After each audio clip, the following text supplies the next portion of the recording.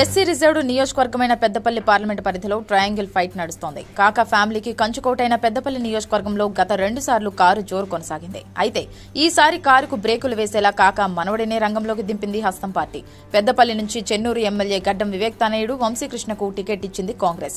ఇక Peddapalli sitting MP Venkatesh నేత కాంగ్రెస్లో చేరగా సీనియర్ నేత మాజీ మంత్రి కొప్పుల ఈశ్వర్కు టికెట్ ఇచ్చింది బీఆర్ఎస్. ఇటీవలే కాంగ్రెస్ నుంచి బీజేపీలో చేరిన గోమాస శ్రీనివాస్ను బరిలోకి దింపింది కాషాయ పార్టీ. ఈసారి ఎలాగైనా పెద్ద పెద్దపల్లిలో కాంగ్రెస్ జెండా ఎగురవేయాలని ఆ పార్టీతో కసితో పనిచేస్తుండగా అధికార పార్టీకి ధీటుగా బీఆర్ఎస్ బీజేపీలు వ్యూహ ప్రతివ్యూహాలతో సిద్దమవుతున్నాయి దీంతో మూడు పార్టీల మధ్య హోరాహోరీ పోరు నెలకొంది.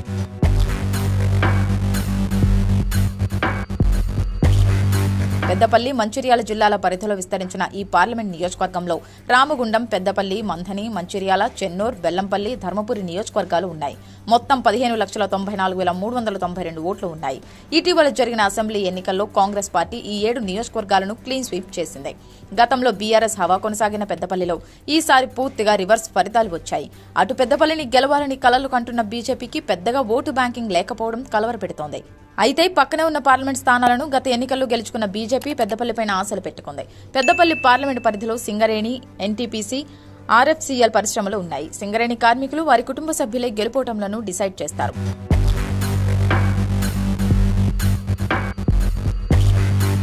సింగరేణి మాజీ కార్మికుడైన కుప్పులకు ఈ ప్రాంతంలో బంధువర్గం స్నేహితులు అనుచరులు ఎక్కువగా ఉన్నారు. గతంలో ఆయన ప్రాతినిధ్యం వహించిన మేడారం నియోజకవర్గంలో భాగమైన రామగుండం ధర్మపురి నియోజకవర్గాల్లో కొప్పులకు అభిమానులున్నారు. తనకున్న విస్తృత పరిచయాలు ఎంపీగా గెలుస్తాయని కొప్పులేశ్వర్ నమ్మకంగా చెబుతున్నారు. ఇక ఏడు నియోజకవర్గాల్లో కాంగ్రెస్ ఎమ్మెల్యేలే ఉండడం పైగా పార్టీ అధికారంలో ఉండటంతో గెలుపు తనదేనని ధీమాతో హస్తం అభ్యర్థి గడ్డం వంశీ ఉన్నారు. అదేవిధంగా సింగరేణిలో ఆ పార్టీ అనుబంధ యూనియన్ గుర్తింపు సంఘంగా గెలవడం కాంగ్రెస్కు అడ్వాంటేజ్గా చెబుతున్నారు. ఇదే సమయంలో బీజేపీ అభ్యర్థిగా బరిలోకి దిగుతున్న గోమాస శ్రీనివాస్ చీల్చే ఓట్లు కూడా కీలకంగా మారాయి. పార్లమెంటు పరిధిలో మొత్తం పదిహేను లక్షల ఓట్లతో శ్రీనివాస్ సామాజిక వర్గమైన మహావీర్ నేత కానీ సామాజిక వర్గానికి రెండు లక్షల ఇరవై ఐదు వేల ఎనిమిది వందల డెబ్బై ఐదు ఓట్లున్నాయి. ఈ ఓటు బ్యాంకు తనకు కలిసి వస్తుందని శ్రీనివాస్ భావిస్తున్నారు.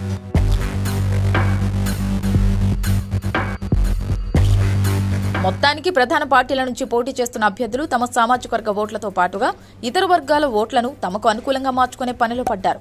ముగ్గురు అభ్యర్థులు నేతగాని మాల సామాజిక వర్గానికి చెందినవారు కావడంతో ఇందులో మాదిక సామాజిక వర్గం ఎవరి వైపు మొగ్గు చూపుతుంది అనేది ఆసక్తికరంగా మారింది. మూడు పార్టీలు మాదికలకు టికెట్ ఇవ్వకపోవడంతో ఆ సామాజిక వర్గం వారు గుర్రుగా ఉన్నారు. ఏది ఏమైనా గతంలో బీఆర్ఎస్ కాంగ్రెస్ పార్టీలకు అవకాశం ఇచ్చిన ఓటర్లు ఈసారి ఎలాంటి తీర్పు ఇవ్వబోతున్నారు? పెద్దపల్లి నుంచి పార్లమెంటుకు వెళ్ళే ఆ అదృష్టవంతుడు ఎవరు? అనేది జూన్ ఫోర్ నాటి ఫలితాలతో తేలిపోనుంది.